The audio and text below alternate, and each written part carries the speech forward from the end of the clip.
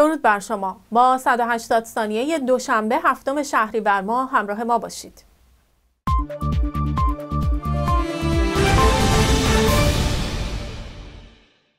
رئیس سازمان دامپزشکی ایران گفته که گزارش هایی از فروش گوشت اسب و الاغ به دست آنها رسیده است.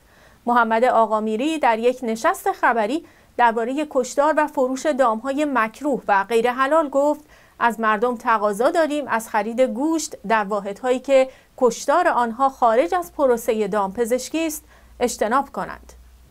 شاهین آخوندزاده رئیس بیمارستان روزبه گفت بیش از 50 درصد از ورودی های پزشکی در دانشگاه تهران که در واقع 100 نفر اول کنکور سراسری محسوب می شوند مهاجرت می کنند.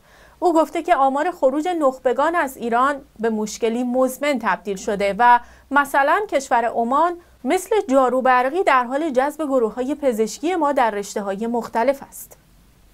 با شکست طرح دولت پیشین ایران برای جذب سرمایه گذاری شهروندان خارجی در ازای مجوز اقامت در ایران وزیر اقتصاد جمهوری اسلامی می‌گوید هر خارجی به شرط سرمایه گذاری 100 هزار دلاری در ایران می تواند اقامت پنج ساله بگیرد.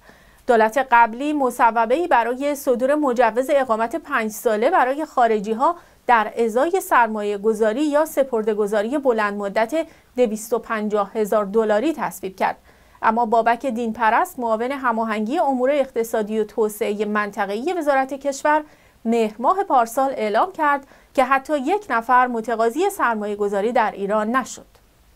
مقتدا صدر روحانی شیعه عراقی گفت به طور کامل از سیاست کناره گیری می کند. صدر در بیانیه‌ای که در توییتر منتشر کرد گفته تقریبا تمام نهادهای مرتبط با جنبش او بسته خواهد شد. اطلاف سیاسی صدر بیشترین تعداد کرسی ها را در انتخابات سال گذشته به دست آورد اما از آن زمان تا کنون جناهای سیاسی عراق بر سر هیچ دولتی به توافق نرسیدند.